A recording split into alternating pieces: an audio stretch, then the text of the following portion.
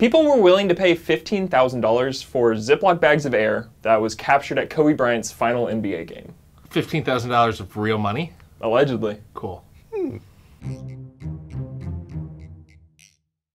So, what happened was during Kobe's final game at Staples Center, everyone came out. They were watching the spectacle of his farewell. And there was some guy just in the crowd filling up Ziploc bags with air. That sort of fits with how I remember that Kobe game. Like, well, they were playing the Jazz. I wasn't there. I was watching on TV, but that is the greatest farce of an NBA game I have ever seen. The Jazz were bad. The Lakers were terrible. That whole like all of Kobe's last couple years, no one was bothering to compete or Sure. no one had a playoff spot in mind. There was there were no stakes at all. The entire drama of the game was everyone just funneling the ball to Kobe, and he fit. He like he scored sixty points at work. He finished with more shots than the rest of the Lakers combined, like by a long shot. Because he had 50. I, I know that much. shots? He, had, he took 50, he scored 60 points on 50 shots. Well, that's also in line with like how that whole farewell weird tour sort of Yeah. like Right. that's very much in line with that whole circus. Because He- he, said goodbye, and there was no hopes of them being a playoff team. in the context of baseball having like Derek Jeter's retirement tour and Mariano Rivera's retirement tour, they would play a road game and someone would present them with like a rocking chair made out of baseball bats. Right.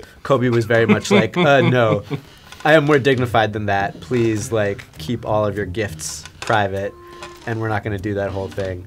Honestly, like there had already been precedent set for this by the Lakers themselves, who sold like 1.2 million dollars worth of merchandise on that final day alone. Didn't they have like hats with Yes. diamonds in them for like several thousand dollars? There was a, a diamond encrusted hat for like 24,000, or you could also shell out $38,000 for a snakeskin hat. Oh, cool. Is it real Black Mamba? Is that actually a snake?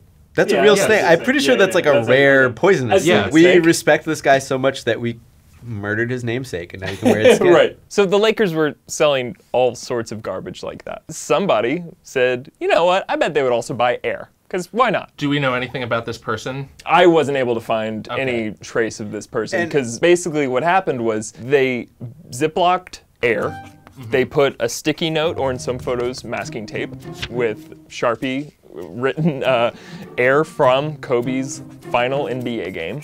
Cool. put it on eBay with a very reasonable 99 cent opening bid. And Okay. it took off. Within hours, there were 50 bids for $800. Within hours of that, it had reached 15 grand.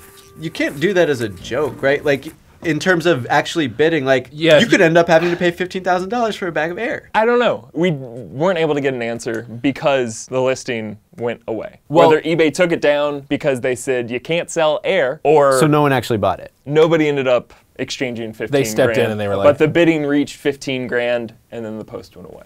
I wish that someone had actually, you know, won that auction and received the air because I want to know how you ship a bag of air. Because Yeah, is it tucked- bags of air are what you use Right. to ship Right. other things. Imagine getting that and like peeling those bags open that you would get from like Amazon and then accidentally opening the oh, fifteen thousand dollars. are you breathing the air in this scenario? yeah. Well, I mean, I think in that scenario, I would panic. I would try and breathe in the air as like a temporary, and then just be like, well.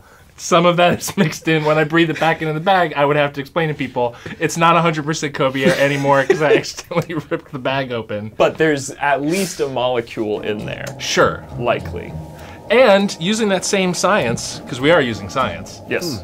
you could also argue that there's probably like s- a Jack Nicholson fart in there, or like, uh, or like some some celebrity burpage. Right, especially for his final game, they had to have come out in For force. Jack Nicholson's final For, game. yeah, yeah, yeah. Yeah, so the implication isn't that like this is Kobe Bryant's breath. No, they were careful about the language there. Okay, because you would have had to go up to his face and actually have him breathe into the bag, and then even then, like a Ziploc bag is not the most airtight container. Right. Props to the person, identity unknown, who had the wherewithal to put up a bag of air for just 99 cents. Oh, yeah. If that person had put it up and like, I'm selling a bag of air for ten thousand dollars, that wouldn't have gone anywhere. Right. Because I think it was plausible for enough people at the beginning to be like, yeah, I'll pay forty dollars for a bag that was Yeah. like at the Staples Center. I've spent 40 bucks on a goof before. Sure, easily. I want to know how this person was bagging the air. I guess is my question. Like a Like, butterfly net style with the Yeah, Ziploc like on the bag end and of a the stick. stick. This is something I would love to experiment with a little bit, but you can't swing a Ziploc bag around and then close it and have it be sort of plump and full. Like you have Yeah. to blow forcibly into a Ziploc bag for Right. it to really fill up. are there pictures of the bags? Yeah, they're plump. Can we see it? There's, it? resembles if you were to blow up a bag by sticking your mouth into it and then quickly sealing it. Actually, seeing the handwritten label that says "Air from Kobe's final game," it reminds me of that Arrested Development bit about the dead bird in the fridge. Yeah. Do not eat. Even though the seller is vague about its air from the game, mm. you still can't verify that much. it's not outside the realm of possibility. There's how many cameras inside of a ga- like a professional basketball game, right? Search around for Bag Boy. He might be in the background of one of those like wide stadium shots. You know, a dude in a Ziploc bag going like, The way I found this story in the first place was I was looking into one story I really enjoyed uh, when I was young of Luis Gonzalez, if you remember him for the Diamondbacks. Somebody tried to buy a piece of gum that he had chewed for a lot of money. So he allegedly chewed this gum, spit it out, and someone Somebody- came and like collected it. and I'm gonna auction it off. But they weren't able to like verify Uh-huh. that he had in fact chewed the gum. So he chewed a second piece of gum in a way that they could verify and in a way that both pieces of gum could go up for auction and the money would go to charity. Somebody bought them for ten thousand dollars. What? Chewed gum For charity. for charity. Oh, for charity. They donated $10,000. sure, sure, sure, sure. sure. But for That's chewed gum, if we were to try to get into this business, what athlete's air would fetch the highest bid? Michael Phelps comes to mind, just because he is famously good at breathing. Right. Mm-hmm. I think the Michael Phelps thing is a little bit more of a reality because if you don't get the air, then you can at least get some of the pool water. Like I think you could legitimately sell a little vial of like this is from the Olympic swimming pool where he won 42 gold medals or whatever. You just want to vape the pool water, don't you? I want to be like that guy who vaped the gamer girl bath. Yeah, I was gonna say you're wanna- virgin on Michael Phelps gamer girl. Can we my put that as tags on this YouTube video? Oh, 100%. Michael Phelps, Gamer Girl, Bathwater Vape. What if I vaped it and I became the world's greatest swimmer, like a Spider-Man sort of scenario? What if you vaped Michael Phelps That's swim water? Has That's- anyone tried? no one's tried it. that's actually how Ryan Lochte became a thing.